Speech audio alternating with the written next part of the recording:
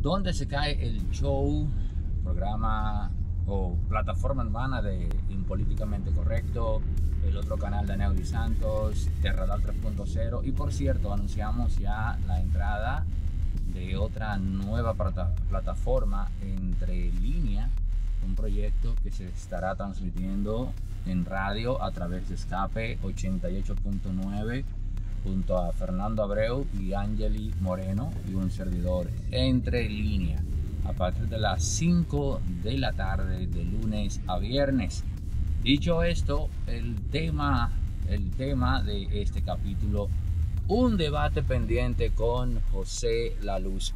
En la, y esto a propósito de los temas de que si Leonel Fernández y José, etcétera. Señores, hay una idea perniciosa, peligrosa, tóxica. Y es la idea de que es malo que el ser humano se vea como el centro del universo.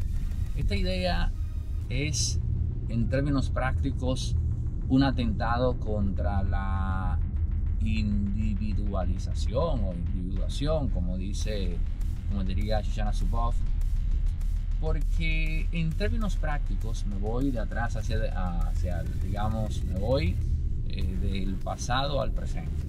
Lo que hemos visto en la historia, y digo esto porque José La Luz es un defensor de la idea de que el ser humano no debe verse como el centro del universo. Yo digo que eso es lo opuesto, que el ser humano debe verse siempre como el centro del universo y que de hecho no hay nada moralmente malo en eso.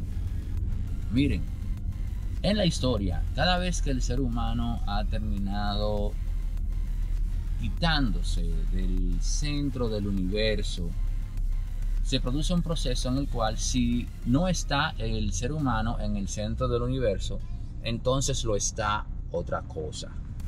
Entonces esa, esa otra cosa termina convirtiéndose de cara al ser humano mismo en algo más valioso que él. Y voy a poner ejemplos prácticos. El renacimiento fue una época en la cual se dio un proceso de individualización a través del artista. El artista toma la antigüedad clásica y si se quiere la reformula y produce un proceso histórico, eh, digamos, rico, un proceso que edificó al ser humano y que dejó como legado la conciencia de qué tan importante somos nosotros para, para la especie como tal. Eso es el ejemplo de un proceso en donde el ser humano abordó colocarse en el centro mismo del universo sin autoflagelación alguna y en buen dominicano le dio para allá. El hombre y cuando digo hombre me refiero al hombre como término que, que incluye también a la mujer.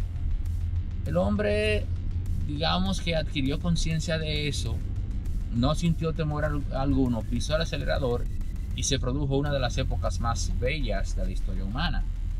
Por el contrario, cuando en el siglo XX tomamos una ideología X, hubo varias, y quitamos al individuo o al hombre del centro y colocamos allí a dicha ideología, lo que se produjo fue una masacre del individuo. Lo que se produjo fue una castración de libertad. Y estoy hablando de los ejemplos más célebres. El comunismo, el socialismo radical, porque ciertamente hay que decir que en la socialdemocracia como tal no necesariamente se dan gobiernos que suprimen al individuo como tal, o, que lo suprimen a un nivel asfixiante. No se da eso.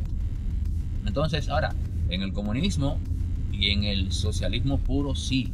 Y esos son ejemplos de, de momentos en la historia cuando se quita al individuo y se pone otra cosa.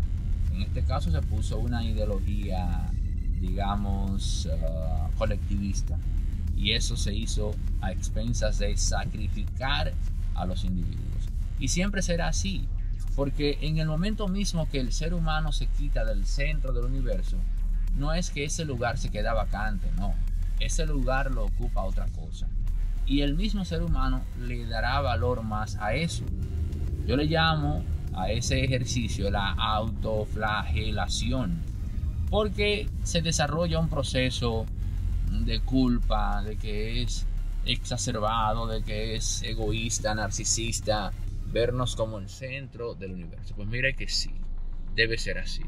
Tenemos que vernos como el centro del universo. Hay un principio que trata de convalidar esto científicamente, que es el principio antropomórfico del físico Frank J. Tipler. Tengo mucho que no leo de Frank J. Tipler. Cuando viene a ver, como se dice en buen dominicano, ya ni siquiera está entre nosotros. Yo ni sé si aún vive, pero lo leí hace 20 años. Leí ese libro, El principio antrópico de Frank J. Tipler, que lo hizo en coordinación con otro físico que se me olvida el nombre ahora. Es un libro que leí hace casi 20 años. Ahora, ese sería mi debate, que lo dejamos pendiente, por cierto, José de la Luz y yo, de que él explique por qué él está mal que el hombre se vea como el centro del universo. Yo someramente acabo de explicar por qué no está mal y por qué debe ser siempre así y por qué eso es una protección contra incluso nuestros derechos humanos, porque es incluso una protección contra la dignidad, digo, a favor de la dignidad, no en contra, sino a favor de la dignidad de la especie que se hace latente en cada individuo. Miren, por ejemplo, otro caso reciente, el proteccionismo radical del medio ambiente. Estamos colocando, o hay algunos ya, con Klaus Schwab a la cabeza, que han colocado el medio ambiente por encima del individuo y en consecuencia terminarán indefectiblemente sacrificando las libertades individuales que ellos entiendan que afectan o que comprometen al medio ambiente. Porque han sacado del centro del universo al individuo y han colocado al medio ambiente. Sin embargo, un pensador, que para mí es el más influyente después de Jesucristo, como lo es este, este señor Adam Smith, ya planteó en La riqueza de las naciones que el recurso más valioso del universo no es el dinero, no es la tierra, sino que es la mente humana y que por lo tanto ese es el recurso que tenemos que preservar. Pero en el momento que cercenamos libertades individuales en aras de proteger el medio ambiente, pues entonces estamos estamos precisamente comprometiendo eso que Adam Smith llamó recurso más valioso, que es la mente humana. Porque en efecto, la mente humana se desarrolla mejor y puede dar más de sí en una situación o contexto social en el cual las libertades del individuo no están sacrificadas, comprometidas, conculcadas o cercenadas. Póngale el término que usted quiera. Ese es un debate pendiente que tengo con Que ya ha estado dos veces en la plataforma. Vamos a ver si, si se anima. Yo garantizo, como ya lo, han visto ustedes, uh, garantizo que el individuo expondrá su tiempo. Ahora habrá que ver si él respeta, si él respeta mi tiempo.